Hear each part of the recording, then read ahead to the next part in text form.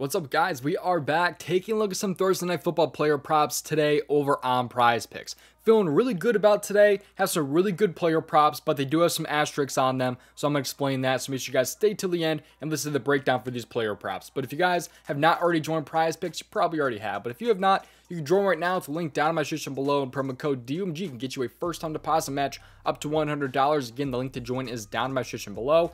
Uh, 19 years and older, available in most states, and I believe also most of Canada. Let's hop in though and start talking about some player props today over on Prize Picks. Feeling pretty good, and we've been absolutely smashing lately. You can just see it right here, what we've been able to do. So you can see we're here in the last couple days here. We had a successful hedge over on the Dub Club. Uh, you know, $300 W there, $300 W there. Those were some hedges. But then you also have some NFL player props that we've been smacking around right there, as you can see. We had uh, just the other day, we had some really nice six flexes and five flexes. A lot of those NBA, uh, those uh, NFL first halves underdog W's. I mean, there's just so many things that we've been cashing over on the Dub Club. So if you guys want to join the Dub Club, right now is one of the best times to do so. If you don't know what Dub Club is, all it is is that it is a messaging service. You can get every single one of my entries to, sent to you via the Dub Club app, email, Telegram, or Discord. There's tons of different ways to receive my plays. And that comes for a ton of different sports as well. It's the NBA, NHL, MLB, and the NFL. Super excited with the NHL being back and the NBA right around the corner on the 24th, I believe. So like 12 days till the NBA season. Super excited about that as well.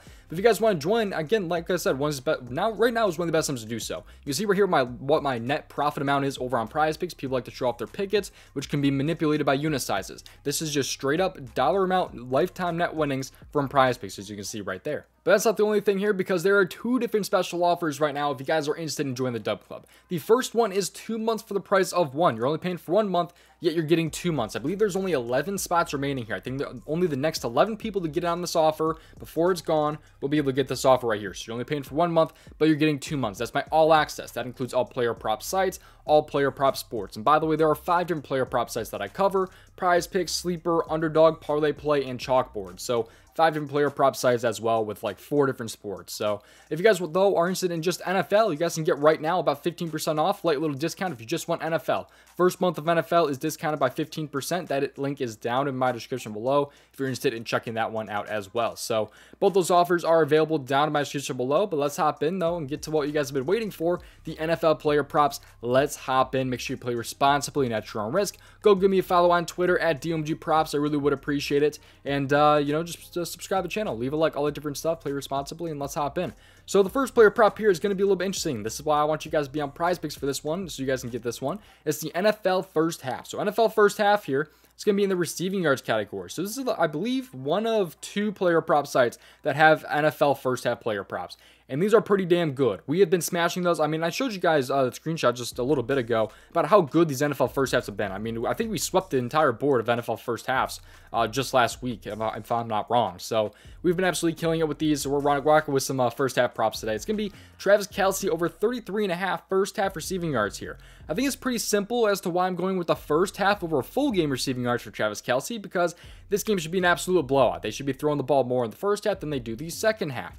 And Kelce here, if you take a look into Travis Kelce a lot more, take a look at his last 15 games when the Kansas City Chiefs are winning at halftime. Chiefs heavy favorites in this one. They should be winning at halftime. And uh, take a look at the last 15, the last 15 games when they've been winning at halftime. He's over in 13 out of 15 games. So that's 87% of games. That's absolutely huge for what should be a very, very nice matchup. This is opposing tight ends receiving yards per game against the Broncos last season. So not this season, but last season. If you take a look at it, the Broncos here, if you scroll down uh, to tight end, and we'll go to receiving yards here. And the Broncos here, they allowed the fifth most receiving yards per game to opposing tight ends last year. And that was in, you know, the 17 games that they played. Uh, but if you take a look at the smaller sample size of only like five games from this season, and you scroll down, they've been a solid matchup for the most part, I guess. They allowed 41.3, which, uh, you know, they're not facing Travis Kelce type players every week, so I'm not worried about the average or anything. It's just kind of how they rank among other teams. So I think it should be a pretty good spot, though, here for the uh, Travis Kelce in this one. It's just pretty self explanatory for the most part. I mean, just take a look at how many times he's been over when the Chiefs are winning. And uh, he's actually been over this in his last two games against them, by the way, as well, back in uh, 2022, 2023, and uh, which was both last season then. So he's over in both games last season with 59 and 35 receiving yards. So I think he goes over again this time. There's an asterisk on this one though because he's been questionable heading into the week. He's been limited in practice, but he is expected to play in this game. As long as he's not going to be a decoy or any, or any of that BS, I do think this one will uh, hopefully end up cashing with ease, but that's the only reason why this play is not a two unit play for me. There's only one unit for me. Otherwise, this play would probably be two units for me. I almost made it two units, then I was like, I don't want any crap where they're throwing a decoy Travis Kelce out there, or if he's not playing, you know, 100% of the snaps or anything like that, then I'm going to be really pissed off.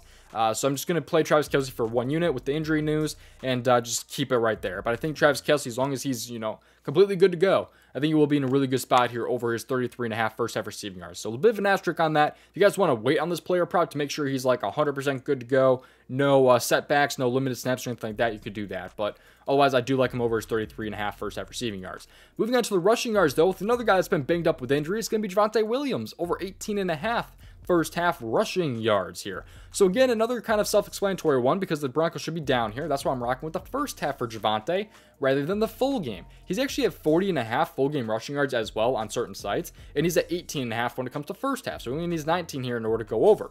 If you take a look at Javonte Williams here and just how he's been, this is not the first half, by the way, this is just full game game log. But if you take a look at what he's done in the first half here, he's actually been over this in uh, 12 out of his last 15 games here. That's not, you know, there's no splits or anything like that. Just his last 15 games, take them.